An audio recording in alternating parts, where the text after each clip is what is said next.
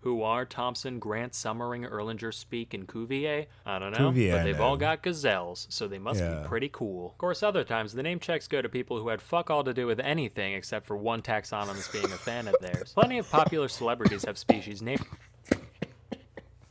Dude, don't do that. How's it going people? Jack here with another reaction. So today, this is uh, a blast from the past. Well, not that long ago to be fair, but this is because on stream the other day, I got a recommendation from a couple of YouTubers that I hadn't watched in a long time.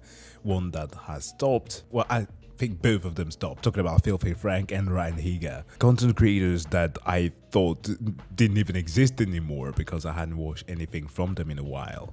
But of course, was this guy here, Sam O'Nella, who made a sudden return after two years hiatus, which I kind of think overshadowed the uh, face reveal of uh, Dream. Oh! But that doesn't matter because today we'll be learning stuff. We'll be learning about animals. Yeah, it's no physics. We'll be learning about the things that we sometimes keep as pets, those that we wash on our boxes of cereals or go and wash in the zoo and hope that they don't break out and eat us. So let us check out where animal scientific name come from.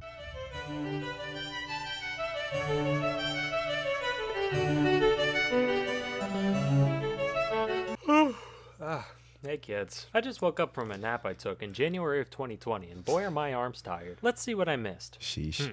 Queen's dead, war in Ukraine, the Taliban's back. What? What is? Holy shit! They made a movie called Scoob. Unprecedented global pandemic, Space Jam 2, some popular guy. Yeah, it didn't miss yep, That just about covers it. Anyway, we all know about the scientific names of animals, but did you ever wonder what they actually mean? To find out, we must look to taxonomists. That would actually really much suck if somebody went into a coma and only woke up today after two years. All the monumental events that has happened, the things that we've sent into space, the discoveries that we've made, that would be very overwhelming. That's like, uh, what's the name again? It's not Murphy's Law, but Moore's Law. That's the one that explains like the technological growth that we are having. That as well is uh, pretty insane. They're the guys responsible for the systems of nomenclature we use to classify organisms, and boy are they convoluted. First we got the big eight, domain, kingdom, phylum, class, order, family, genus, species. I've seen plenty of mnemonic devices for this, but since the D just showed up in the 90s and is still disputed by some scientists, he's usually not included. So allow me to suggest a few. Dizzy kids puke cereal on fairground staff. Dumb kittens pushing cups over feeds growing spite. Donkey Kong's fucking g- serendipitously. serendipitously. Excuse me, good sir. the Donkey Kong. oh my god. I'm having a cold right now, so I shouldn't be laughing like this. Um, wow, I, I did not see that coming. The way this whole thing works differs slightly depending on which kingdom you pick. So today we'll be sticking to the animal one, cause that one's the coolest and I'm in it. So what constitutes each taxon is pretty arbitrary. They basically just serve to act as another set of branches in the tree that taxonomists build. The one Right. exception is species, which is generally defined as any group of animals that can have babies with each other that aren't sterile freaks. Mule, liger, zedonk, skunk ape, they can live fulfilling lives, but they're all shooting blanks, so they don't count. On the Hold, hold, hold on, hold on. Did my man just drop a Californian legend? No, sorry, not California, Florida. Yeah, he's a Floridian, God damn it. This concave. It's basically like uh, Florida's Bigfoot, isn't he? By the way, ligers. Um, I do believe that there was like uh, an experiment made where they actually bred some that made them give birth. Like, wh- what is the opposite of a liger again? It's like a um, uh, it's literally in the name, like tiger, because ligers are female tigers and male lions because they have that growth gene, which is why they are the biggest um, mammal. Whereas tigons, that's the name, the opposite, that kind of look weird. I'm sorry. Yeah. Um, the the tigons, I think like perhaps a cross between the two uh, resulted in the birthing of actually cubs, but those cubs as well are sterile, so it's kind of weird. but they don't count. On the other hand, in our innumerable trespasses against God, we can make things like Chidandanes, which actually work, so dogs are dogs are dogs. Besides species, though, it's the Wild West in here. Plenty of times, eight tiers isn't even enough for scientists. Innumerable trespasses are definitely the worst to use here because some of the creatures that we end up making, from dogs to even cats, like like cats that don't really grow tall with like minuscule feet or paws. Uh, it's weird to me, man. I, I don't stick with that. So they just stick new sublevels in between legions, cohorts, tribes, series, divisions. And if you want to keep going, you can throw all kinds of prefixes on any of these for even more layers. Giganta, like the armadillo lizard, uh, the uh, smaug giganta. There's even subspecies, which the more pedantic of you may think to yourselves that creating names for subspecies at all kind of undermines the single somewhat agreed upon definition in the whole tree. To that, my friends taxonomists say, uh. But while that's pretty complex, the actual names themselves are pretty easy to wrap your head around. Though taxonomists may hide behind their fancy Greek and Latin, the Vulgate is no substitute for wit. Now, I've scraped through the scientific names of a load of species, and most of them can be split into a few categories. The simplest ones are the animals that already have names in Greek or Latin. It's a lion, I'm calling it Leo. Done. Leo. Tiger, it's a tigris. Tigris. Cat, it's a catus. Easy. Multi-word names can be translated the same way. For the golden eagle, we got Aquila Aquila. chrysaetos. Gold eagle eagle. They decided to be a show-off and do eagle in Greek and Latin. Essentially the same though. But if a species is too specific or exotic for a one-to-one translation, that's when you gotta get a little creative. A lot of the time, inspiration comes from just giving the creature the old once-over and pointing out some cool-looking body part. Generally, Yeah. the more distinct of an identifying feature it is, the more likely it'll get in the name. For example, Homeboy took one look at this thing and said, Yup,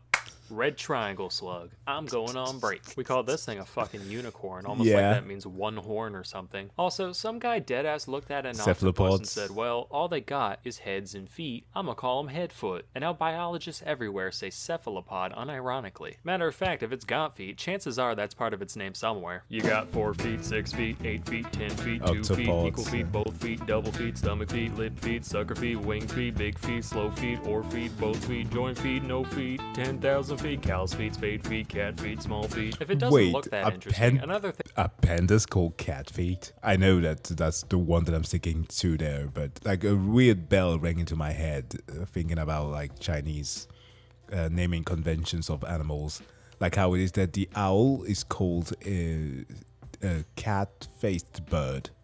I think that's the word for it in Chinese, but I can't remember what that word is. But uh, I put it here somehow in the screen. Thing to point out is where you found it. This could be a territory like American bear or Siamese crocodile, or just a habitat like woods macaque or toilet rat. But that's boring. we need to look at the men behind the magic and what drives and motivates them. Now, if there's one thing that the scientific community loves, it's clout. And there's no better way to go down in history than plastering your own name on some shit you found. But not all fields have the same volume of things to scribble the old John Hancock over. On the one end, you got physicists just making Yeah. up their own slightly Oh, different form of ionizing Röntgen radiation measurement. and And, even then, only the top dogs got away with it. Now, zoology, any little goober flouncing through the underbrush can say, This one has 13 spots, but the one in the book's only got 11. Ladybug. I will call him Splinkus's ladybird. Alternatively, Oh. plenty of biologists have given shout outs to their contemporaries, both other biologists and those across the academic gamut, from geologists to physicists to explorers and more. Naturally, Darwin's got a shitload, but even the background characters get immortalized one way or another. Who are Thomson, Grant, Soemmerring, Erlanger, Speke, and Cuvier? I don't know, Cuvier, but they've all got gazelles, so they must Yeah. be pretty cool. Of course, other times the name checks go to people who had fuck all to do with anything except for one taxonomist being a fan of theirs. Plenty of popular celebrities have species named Dude, don't do that. it's almost like um, the Wolverine, the Wolverine meme. I miss you. named after them, but since all the big cute stuff was found and branded a while ago, most of these idols are commemorated through repulsive little invertebrates. You got Scaptia, Beyonce. The only similarity I can gather here is Queen Bee, looks like a bee, both not a real bee. There's Anomphalus jaggerius, an old stone named after an old stone. In uh-huh. 2007, one Jason Bond, a professor of biology at UC Davis, dubbed this little dude Myrmecia Neil Youngie to honor Neil his Young. favorite musician, which caused my man Stephen Colbert to go on TV and profess profess his utter indignation at not having a spider named after himself. So naturally, the next year, Bond actually went on the Colbert Report to announce the naming of Colbertus. Aptostichus Stephen Colbert. So, Okay. if that gives any Wow. of you epic biologists out there any ideas, you know, I wouldn't be opposed. Please, I would do anything. For the love of God, I'll even take a lichen. Uh, can't they just name like a chicken after him? Salmonella. Is there? Oh. Yeah, there's a thing like American presidents have uh, animals named after them, right? Fish and birds. I think Obama has a bird, but also, um, yeah, historically speaking, uh, this was part of like a very weird trivia game that we played once, uh, learning that uh, the good old Adolf has a beetle named after him. Stupid. The world of politics is by no means immune to this phenomenon. Obama alone has fucking nine, as do a load of other presidents. Oh got my God. with funny hair, Bush has a fungus beetle, Reagan's a wasp, Carter's got a darter, and so forth. Even Austria's most famous painter got the honor through this blind cave beetle. Yeah, Mind you, it was still one. 1933, so you can only blame the guy a tiny bit. Hitler actually wrote him a letter saying, Oh, thank you, my little entomolomensch, and then went on to do, you know, Hitler things. Fun fact, not only was this beetle stuck with just about the worst name you could have, it's also now facing extinction solely because of its value to Nazi Buddy. memorabilia collectors. Guess old habits die hard. Oop, fictional characters have their fair share of species under their belt. On the topic of evil beetles, this one's named after Darth Vader because he kind of looks like his helmet, I guess. This was actually named by the same guy who did the Bush one and belongs to the same genus. Hmm. There's also this mite, genus Darth Vaderum, which is a lot more accurate and frightening. In 2012, a single bone from above the eye socket of a hitherto unidentified theropod dinosaur was being studied. And suddenly, under the light of the full moon, the guy working with the specimen had his neck covered with hair and his lips clenched into a pog and his endocrine system filled with soy, and he said, It's just like the eye of Sauron. And then Wait, what the fuck? He turned into a neckbeard? Basically a Discord moderator? And he started chewing on Funko Pops and sweating cream of meme and snorting G Fuel and shitting D20s everywhere until the prostate stimulation made him. The dino's genus is now Sauroniops from Eye of Sauron. This Oh, oh god, this guy is insane. Analogies at top level. Snorted G Fuel. Yeah, I can see that. spider was named after Godric Gryffindor because it looks like the sorting hat. SpongeBob has not a sponge, but a fungus. The legendary birds from Pokemon each have They their have own, you guessed it, beetle, and the list Oh. goes on.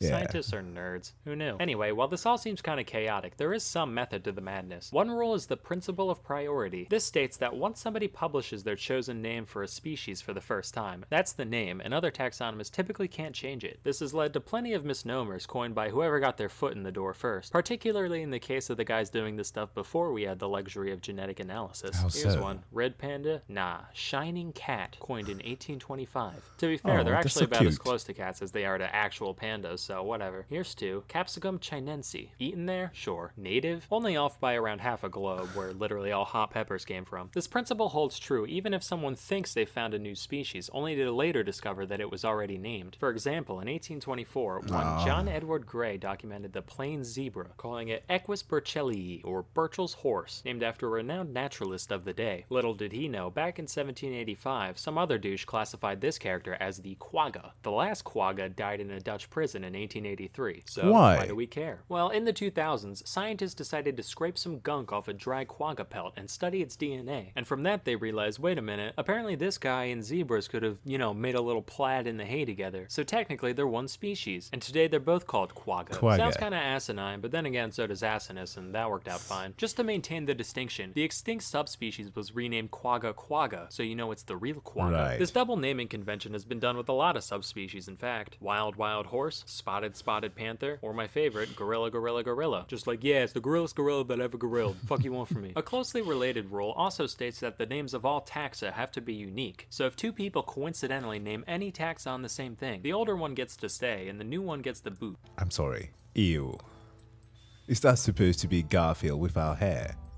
That's disgusting.